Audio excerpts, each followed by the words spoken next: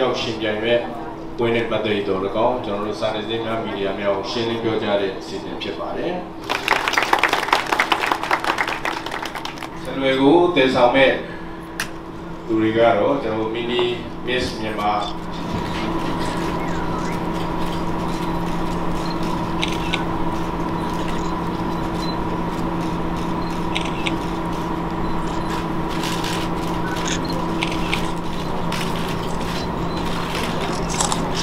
Okay. Okay.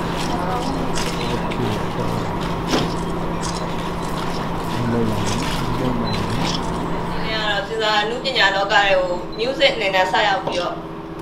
ဝင်ရောက်ခဲ့တာပါဒီ music မှာပေါ့နော်သင်ကြားပေးခဲ့တဲ့ဆရာဦးစောနုဒီချက်ခင်မြတ်မော်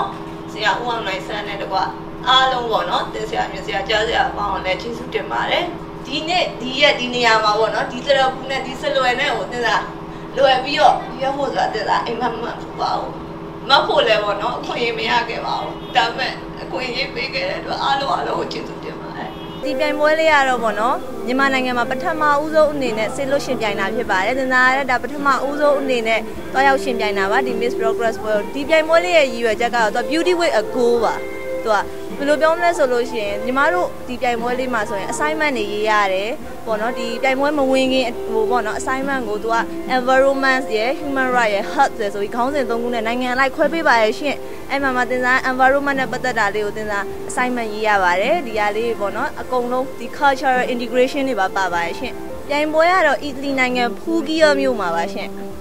ပြိုင်ပွဲဝင်ရတော့အခုလက်ရှိလောလောဆယ်20ပေါ့နော်ဒါကတော့ဟိုရောက်မှအတိအကျသိမှာပါရှင်ရောက်တဲ့ဥယျာဉ်နဲ့ပေါ့နော်တင်စားစ조사လာတော့တင်စားမှာကိုစမ်းရှိသေးညံတန်းရှိသေးအကောင်းဆုံးစ조사မှာပါအကောင်းဆုံးစ조사ပြီးတော့ရလက်ကောင်းကိုလည်းရဖို့လည်းမျှော်မှန်းပါရဲ့ရှင်ပေါ့နော်ပြိတ်သက်အဲမေလာစမ်းမှာပေါ့နော် internet voting စပါမယ်အဲ့ဒါမှလည်းပေါ့နော်ပြိတ်သက်ကြီးအားလုံး internet ကနေပေါ့ voting ပေးစီတို့ပါရဲ့ရှင်မိဘပြည်သူများရဲ့မြစ်တာကိုလည်းတင်စားခံယူနေပါတယ်လို့